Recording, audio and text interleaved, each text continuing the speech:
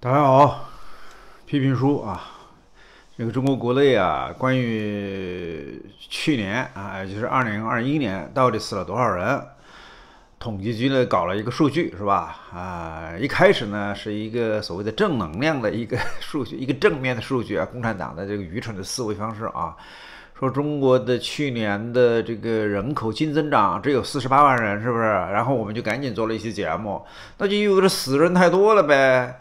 可是死了多少人呢？你没这个说法呀，是不是？我们也只是经过这个数据的分析啊，然后大致推测出一个现象：为什么人口这么少？这么多人，你想想，净净增长四十八万人，如果说你是不动脑筋的话，你就想净增长四十八万，就中国人都不愿意生了呗，是不是？那全国只剩了四十八万人呗？那怎么可能呢？你说是不是？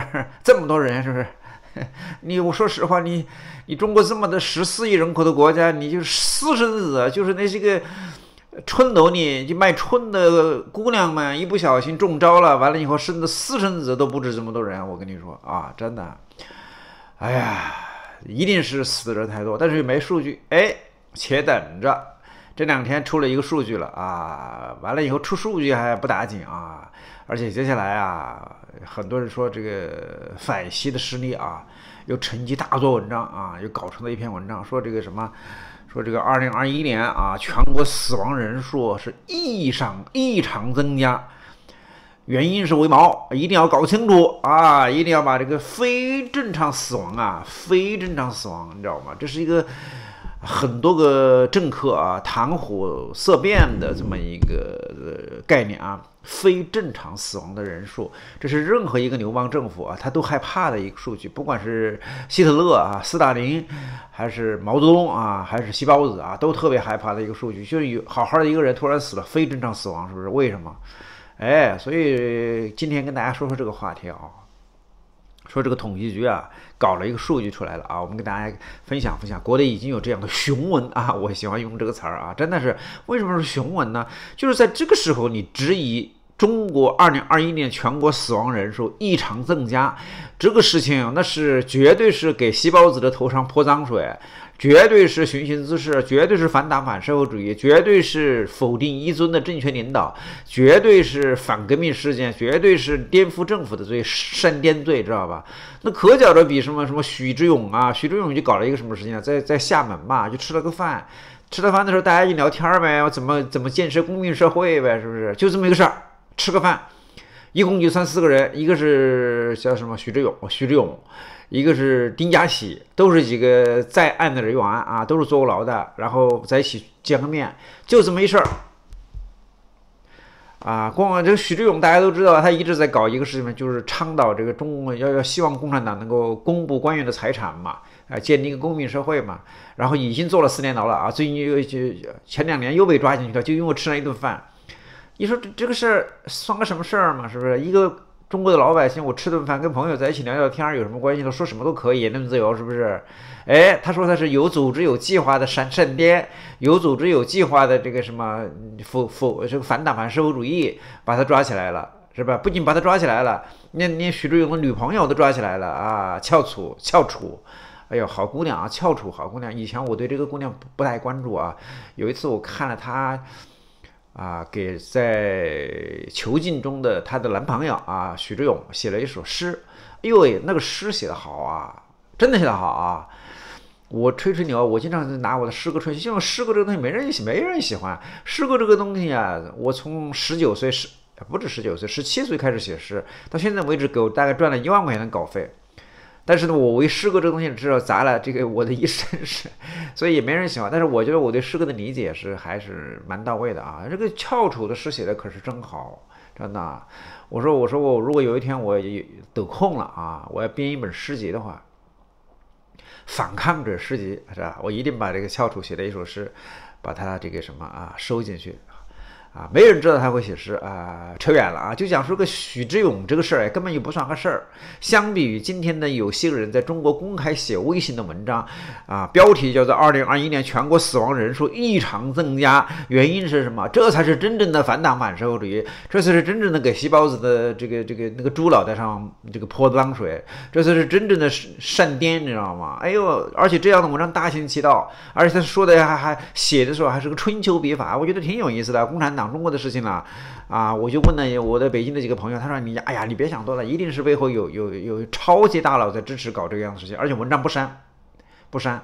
你知道毛泽东最害怕的事情是什么？我再说一遍，毛泽东最害怕的事情就是他在这个啊三年大饥荒，所谓的三年自然灾害啊，死了多少人？共产党到目前为止最害怕的也是这个事情。你看崔永元。也都说过啊，那几年风调雨顺，哎，说完了以后，共产党就不喜欢他，是不是？是崔永元自己说有背后有超级大佬，哎，但是也被封得个死死的，你知道吗？哎，我们看看这篇文章是怎么写的啊？他说，二零二一年一月十七号，国家统计局公布了公布了人口的数据，其中二零二一年死亡的人数是一千零一十四万人啊，这个数据挺挺有意思的啊，人口的死亡率为百分之七点一八。啊，你一一个国家一死一千零一十四万人，然后重要的是一个人口的死亡的比率啊，比例是百分之七点一八，哎，他就讲这个东西啊。然后呢，对比之前的五年的数据，二零二一年的死亡人数和死亡率异常增加，也就是说。比过去几年，比这个什么二零二零年、二零一九年、二零一八年、一七年、一六年啊，它一共是列了这个六年的数据啊，六年的数据。二零一六年是多少呢？二零一六年是不到百分之七啊，死亡的人数是九百万。二零二零一八年、二零一九年是不到百分之七点一，知道吧？不到百分之七点一。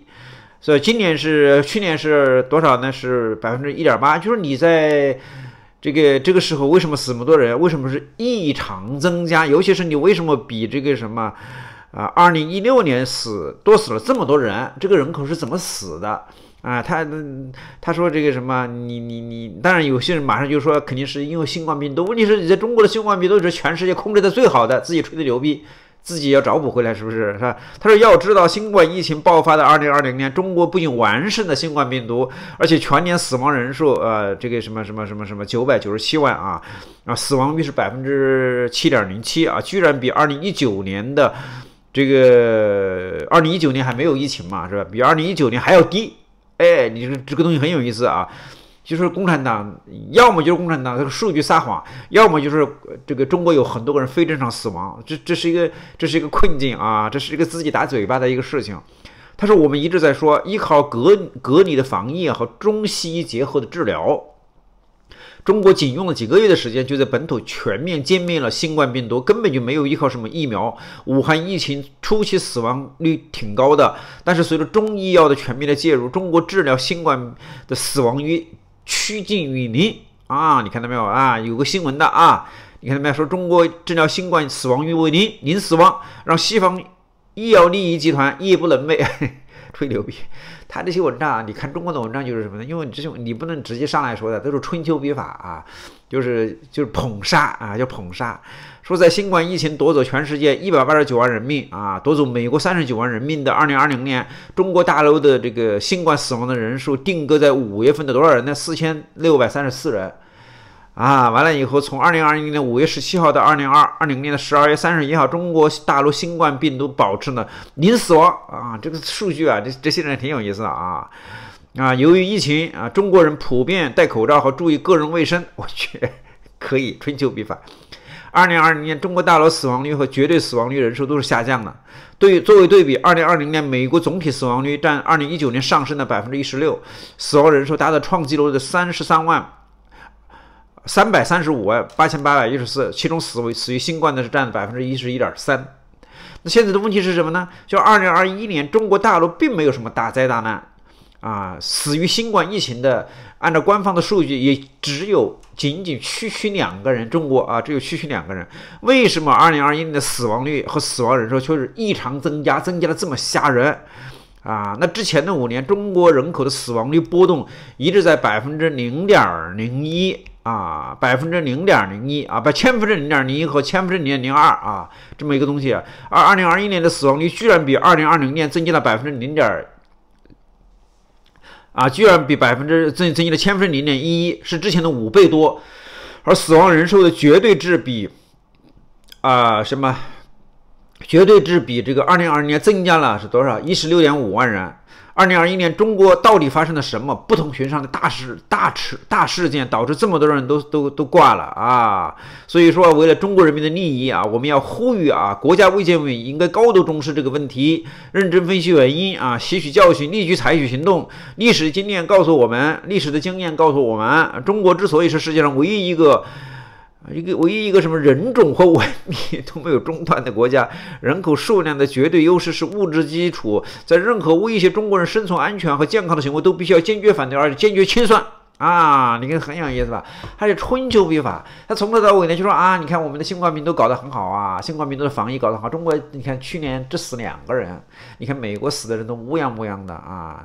那去年没什么事儿，新冠病毒没没有导致大面积的人口的非正常死亡，呃，不叫非正常，叫人口的这个因为病毒死亡。那你为什么人口的死亡率异常增加？啊，按照正常情况，一般都是千分零点一，现在是多少的？是是五倍多。这个人是怎么死的？哎，所以我告诉你啊，然后我问了北京的朋友，他说你想都不要想，这就是反西派，像习包子、像习主席一尊发起猖狂的反击啊！呃，这么多人的人口的这个非正常的死亡，那是一定要上史书的啊！我们也说过，刘少奇当年说过，人相失啊，那是要上史书的啊！中国非正常死亡当年是有的是九千万人，有的是一亿人，有的是三千八百万人，是吧？